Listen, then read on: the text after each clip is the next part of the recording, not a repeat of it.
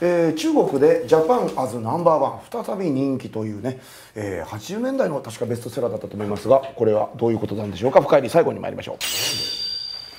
う、日本が経済成長を遂げた理由を分析したエズラ・ボーゲルハーバード大学名誉教授のベストセラー「ジャパンアズナンバーワンが中国で36年ぶりに再刊され発売直後に重版されるほどの勢いで売れています。日本のような経済成長を経験しアメリカとの摩擦を抱える中国。隣国の日本から学ぶ点が多いと思われているようです。1979年に出版された同書は日本型組織の特徴などに注目し日本で約70万部が発行されるなどベストセラーになりました。当時中国でも出版されましたが読者は研究者などに限定されていました。若い読者が多いのが今回売れていることの特徴で市内の大学生らが本の感想を仲間と議論。公害や交通の過密など30年前の日本は現在の中国の姿に似ている。日本がこの問題をどう克服したか興味があるなどと語りました。またある大学の教授はこの本には急速な成長を果たした日本へのアメリカの警戒が現れている。日米関係の歩みは我々が対米関係を考える鏡になると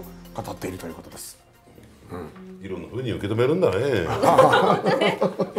本当そう思いまで別にこれおそらく参考書にならないと思うよ、中国では。そうですか。特に公害一つ取ってみても日本ではきちんと司法制度が機能していたからこそ、被害者に対するね救済措置が講じられた。でそこに対する、えー、ねまあ賠償をするよりも、はい、要は、えー、公害を出さない仕組みを作った方がリーズナブルだと、企業は気が付いたからですよ、はい、だから中国でそんなことが起こるはずない、うん、買わない方がいいと思いますよ。嫌です。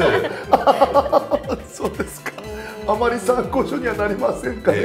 えー、須田さんのご診断はそうです、えーえー、有馬さんやっぱりダメですか？うん、ダメだと思います、ね、あのつまりね、日本のよ済成長を経験して、日本のような経済成長じゃないですから、中国の経済成長。そうです。そもそもの前提が違うよと。そもそもの前提が違うから、相変わらずバカだよ、ね。